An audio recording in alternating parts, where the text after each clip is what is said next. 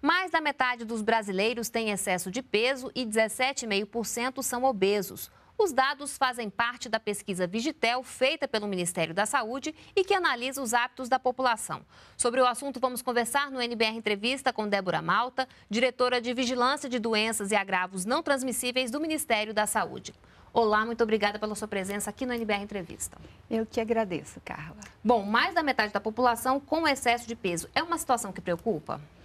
Sim, nós temos esse problema no Brasil e no mundo como um todo. A transição nutricional é uma realidade da sociedade moderna é, e nós temos feito esse monitoramento ao longo dos últimos oito anos e verificamos que esse crescimento ele foi contínuo.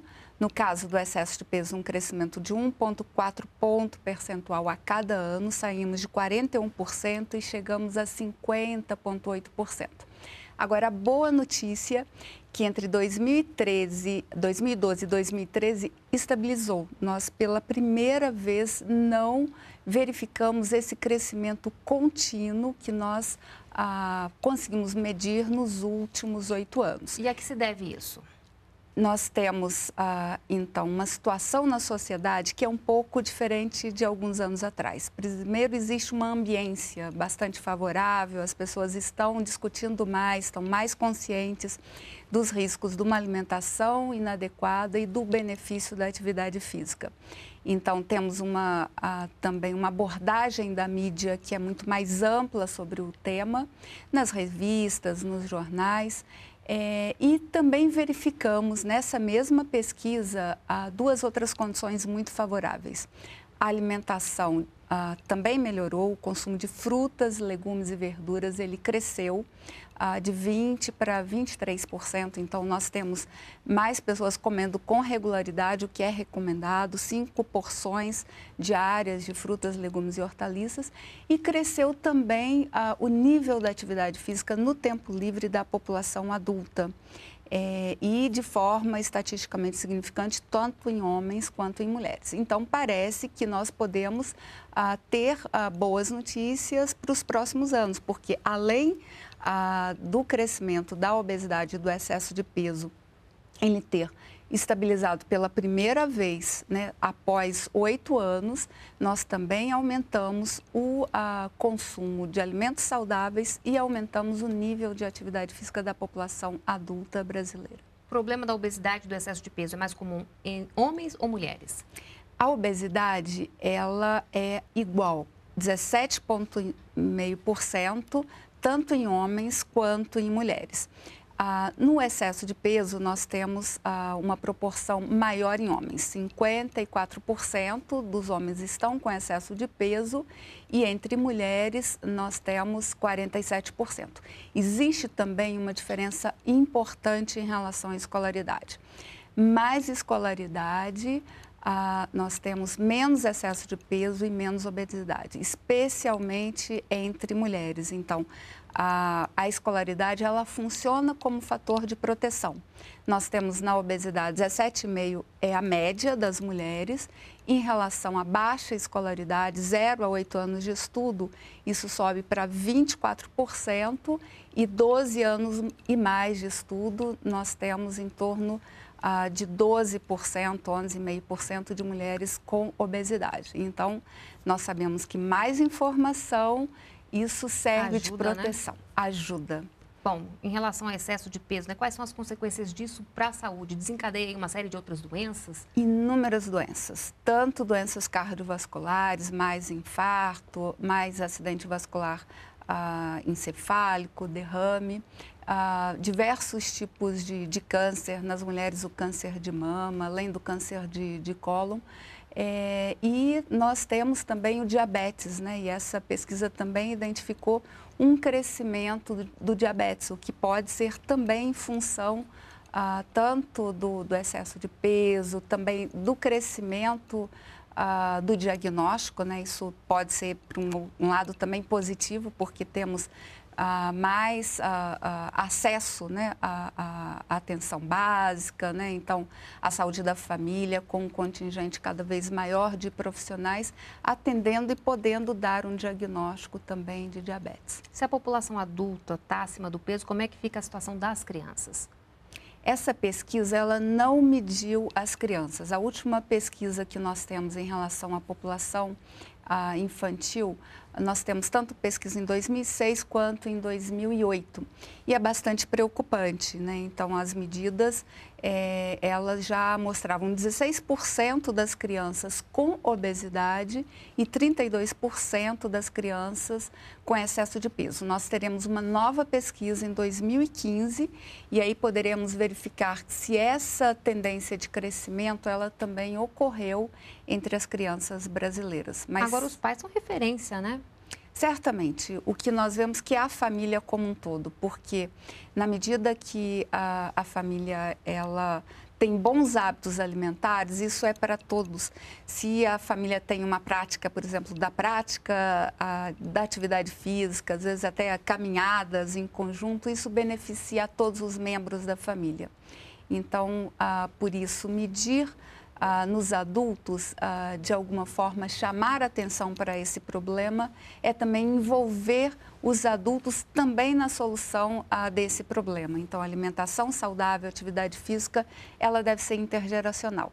Então, colocar as crianças, os jovens, eh, os adultos, os idosos e, enfim, até mesmo os cães. Né? Uma, é, alguns estudos mostram que passear com o cachorro é algo que traz benefícios para a saúde, porque torna também esses adultos uh, mais ativos. É um motivo para você sair de casa e fazer da atividade física algo incorporado no seu cotidiano. Em relação às doenças crônicas, né? o que, que essa pesquisa mostrou?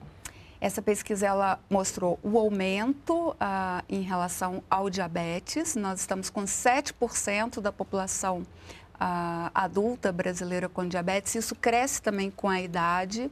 Nós temos na população de 65 anos e mais até 20% de pessoas com diabetes e temos uma certa estabilidade em relação à hipertensão. Em torno de 25% da população adulta refere hipertensão, mas nós temos uh, na população de 65 anos e mais uh, 60% da população com hipertensão.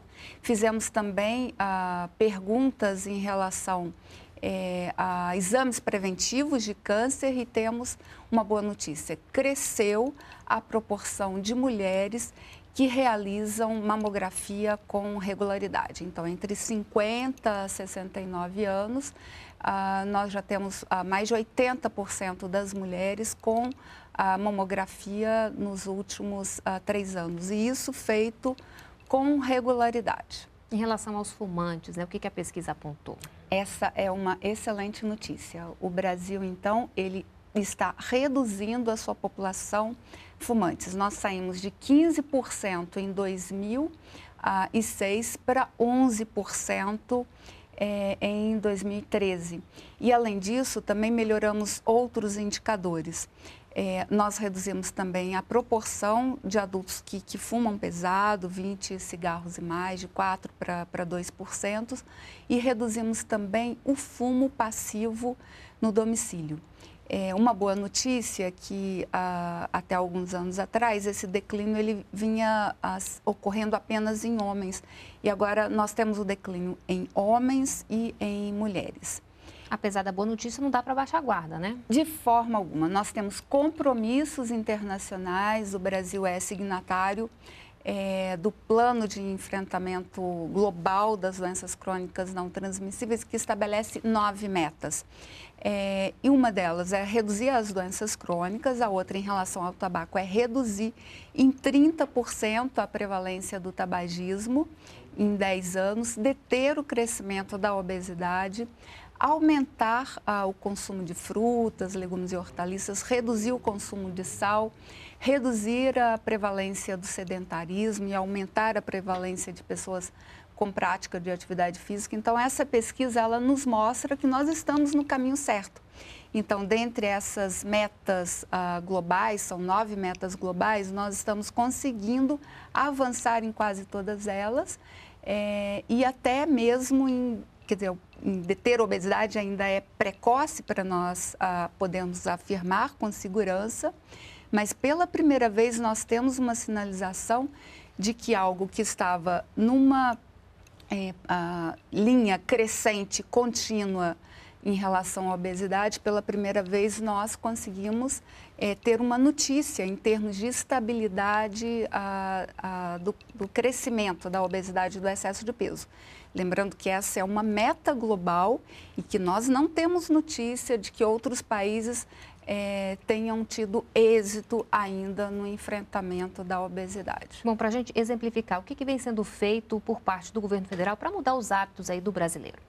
Então, existem diversas iniciativas. O governo federal ele lançou em 2011 o plano de enfrentamento das doenças crônicas não transmissíveis, que ele trabalha em três grandes eixos, né? O primeiro, o monitoramento, a vigilância, e o Vigitel faz parte disso. Temos também a Pesquisa Nacional de Saúde. Temos uma série de ações de promoção da saúde, dentre elas eu destacaria o programa Academia da Saúde. Nós temos, então, já o repasse ah, para municípios, para a construção de 4 mil unidades. É, quase 500 dessas unidades do programa Academia da Saúde, elas já estão prontas e que são espaços é, para a promoção da atividade física e de hábitos saudáveis. Nós temos, além ah, do recurso financeiro para a produção do equipamento, né, também ah, temos recurso financeiro para que os, ah, os municípios possam ter profissionais de saúde estimulando a esses, essas ações junto à população.